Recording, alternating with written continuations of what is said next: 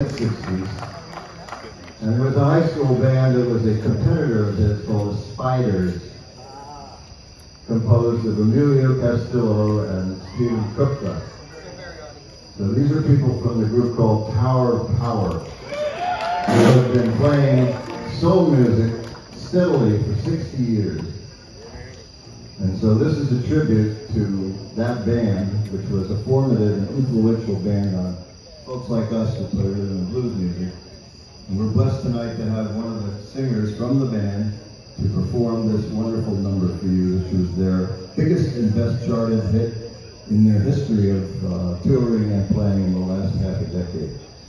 So very hard to go. It's not the Ex-Lax theme song, contrary to people believe.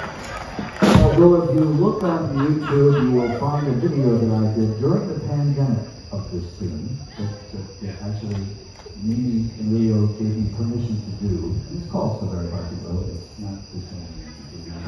You'll see.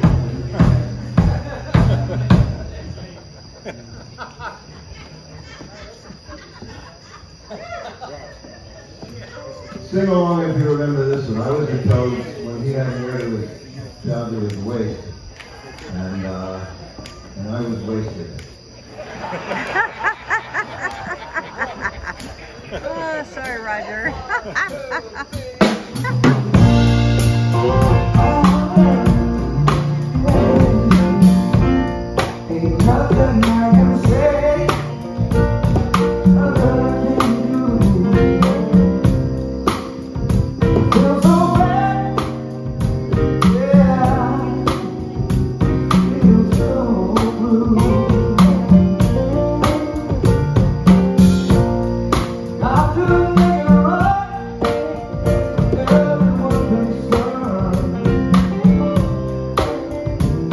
thank you.